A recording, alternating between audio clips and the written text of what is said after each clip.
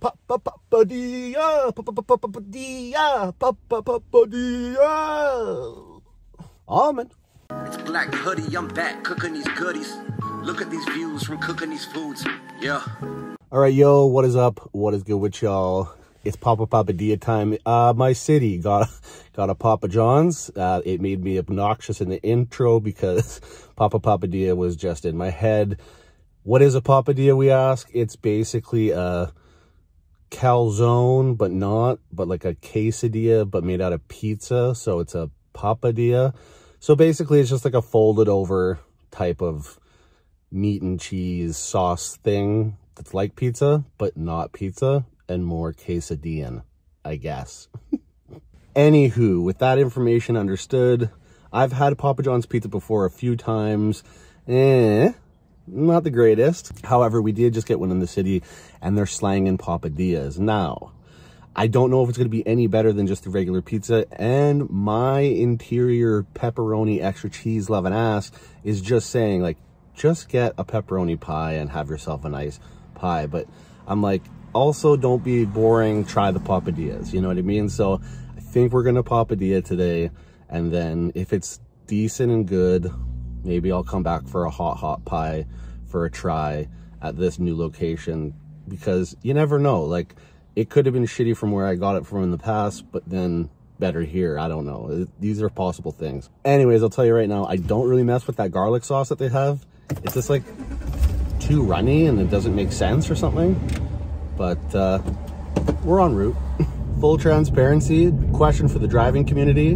I'm driving in my slides right now, AKA sandals. Not used to it. Doesn't feel right. Not something that I like, but trying it out, trying to get used to it because it is summer, but it isn't that hot out. That's why I'm wearing a windbreaker because it's really not that hot out today. But what I'm saying is, is driving in sandals sketchy, weird? Do you love it? Do you hate it? I feel like people who live in hot climates probably do it all the time. I'm not used to it. it just feels very strange to me, okay? Very strange. I'm gonna pop a pop my cherry with Papa Papadillas. I had y'all two hot papadillas. Kind of bigger boxes than I thought, but I feel like they're only to be like half because they're foldies, but stiff test. Smelling pretty Italian. That's what I got. I got the Italian papadilla and I got the barbecue chicken bacon papadilla. There was also Philly cheesesteak, meatball pepperoni, uh, buffalo chicken, and maybe one other one, but these were what were playing on my mind. So let's get into this. We'll bring you down for the real thing to see what we're really looking at and then uh, see how they taste in my flavor hole. I had a first look, cracked the flavors, the, the flavor saver seal, the heat saver seal, and ooh, okay, I went with the spicy garlic on this one for the dipping sauce. But uh, I'll talk to you about that in just a second. But let's look under the hood here. So very hot, very spicy. You can see some heat coming off that. We got salami, pepperoncinis, we got cheese, and we have Italian sausage. And it looks nice and grilled and toasted. So yeah, she's really, really hot. And uh, let's have a look at the barbecue chicken bacon real quick. Pop the top for another surprise. Oh, that's looking less colorful and eventful, but fold it back. And we got chicken, we got bacon, cheese, onion in there, I believe as well. But minced, it seems. Thought it wouldn't be. This one looks like got a little, little longer on the grizzle. Let's get these a try going. And yes, I did plan ahead. Y'all think he didn't bring his own runny Riz? I know that PJ's uh, ranch is trash, but also once your ranch has been runny, you know, it's never gonna Riz again. You know, like also felt inclined to bring a sour cream bottle squirter for the barbecue chicken. So he planned ahead. All right, I gotta tell you all this for one thing's for certain. These are piping hot, hard to handle pockets of love. Like, holy fuck, that's so hot. And they're just flippy, flapping, floppy vaginaing me everywhere. Sorry that got aggressive, but holy shit. It's too hot to eat. I can't do it. Y'all know I like a hot, hot pie, but this is this is 100% the hottest handheld I've ever dealt with. Wow. Okay, I need to give these a minute. Maybe one of the hardest things I've ever had to eat in my life. They need more time. The exterior is burning hot. The interior is like soft and steamy. But everything pushes and just the guts ooze onto your hand and burn and spill. Spill and burn your crotch and fingers. So, be back shortly. All right, I opened up their flaps for a while. I let them breathe. And now we're gonna attempt another attempt at these hot pockets from hell. So already I can tell you just design flaw. They're just so sloppy. They're so hot in the hand. Everything pushes and flips and floppies out. Like it's just not, it's really not fun.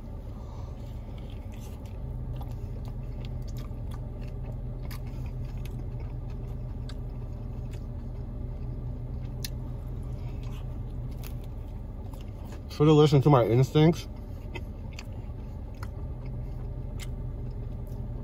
And got the medium pizza.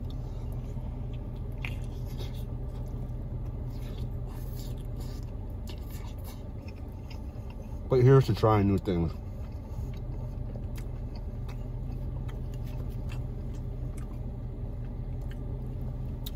Flavor wise, pretty good. Not mind blowing.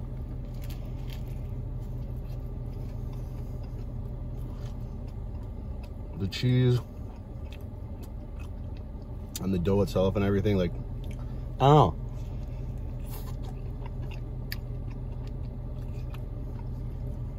This doesn't have like big flavor.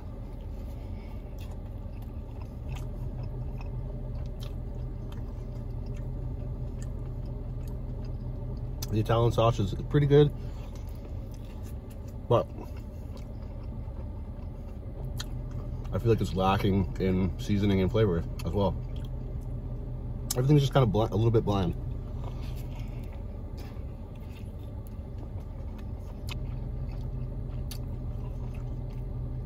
Papadia, more like slopadia. Like, look at this. This is impossible. They don't make sense. Look what it's done to me. How will I recover from this? Am I in the clear yet? Holy. Fold this over.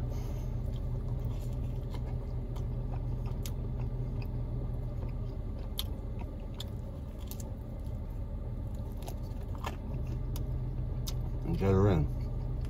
Hmm. Slopadia. It's not a papadilla. It is a slopadia, and that's it. Polar pop. It's definitely a knife and fork at home on a plate. Calzone, I thought I could handle it.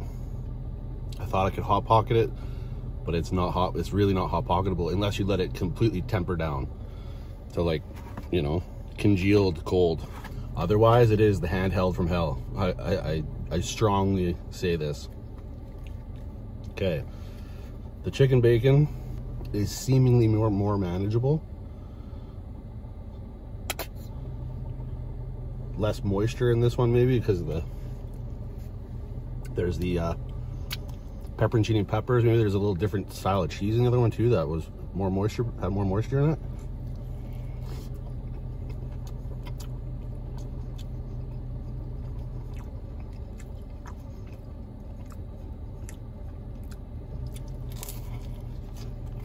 Which caused volcanic cheese slides.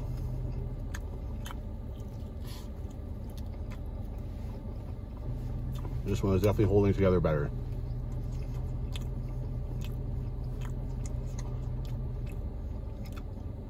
What can I tell you?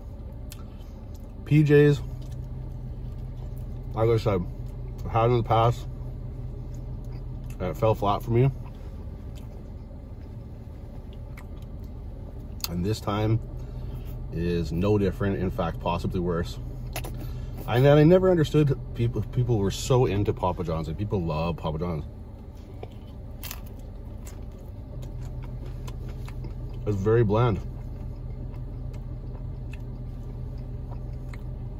All the flavors in it just kind of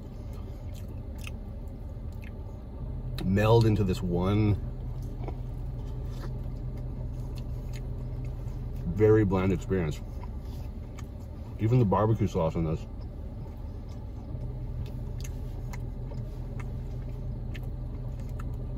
is just incredibly bland. No other way to explain it.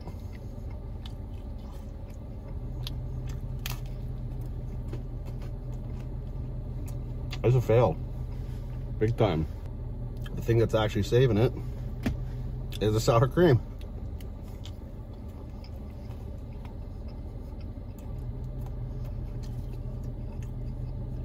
Chicken looks decently legit for pizza place chicken. Let's try it with the ranch.